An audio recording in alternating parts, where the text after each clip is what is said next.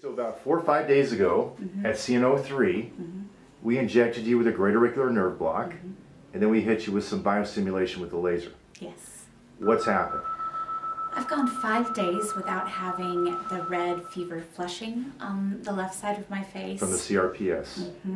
the Uh, I have gone uh, this long without having any pain in any of my teeth or in the jawbone. Um, Pretty cool. Five days. That's a big deal, isn't it? That's a huge deal. When the past, when we gave you the neck block, how long did it last you? A day, day and a half. That's we about right. lucky. Yeah. But this time we gave you like five. And it's still And counting. And counting. Wow. You mean you're actually normal? I know. uh, So what, how, what does that make you feel? I mentioned it, it almost makes me nervous to say it out loud. yeah, you might jinx it. That I, I don't want to jinx it. Yeah. Um, you sleeping better? Yeah, I'm sleeping better. Uh, the most that I have felt in the last five days would be a little bit of just tense in my jaw. But as many storms as we've had moving through and fronts, Yeah.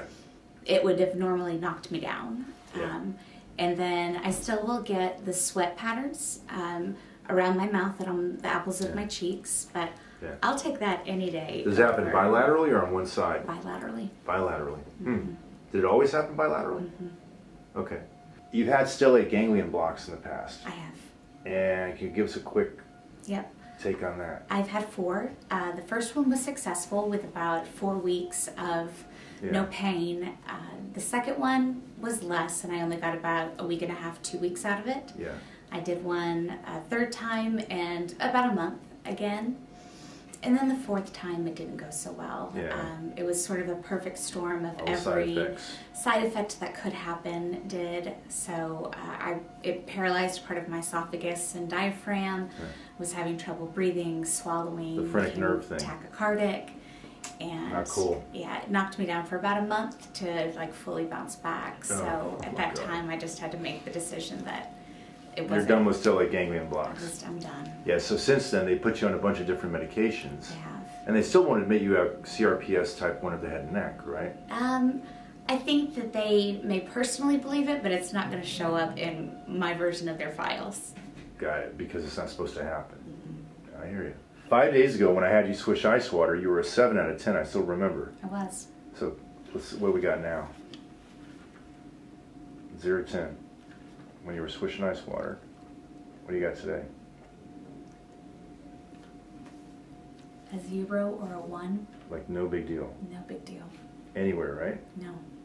That's pretty cool. Mm-hmm. See, it knocked out the allodynia. At least for now. The allodynia is a disproportionate response to a response that would not be painful normally.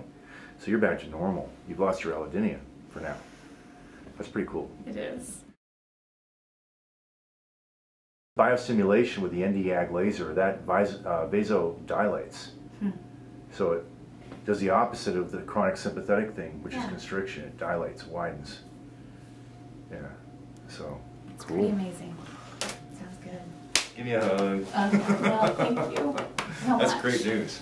I'm teary. You know, even if we could figure out a way to maybe we knock it down two weeks at a time, that wouldn't be that big a deal. Oh my gosh.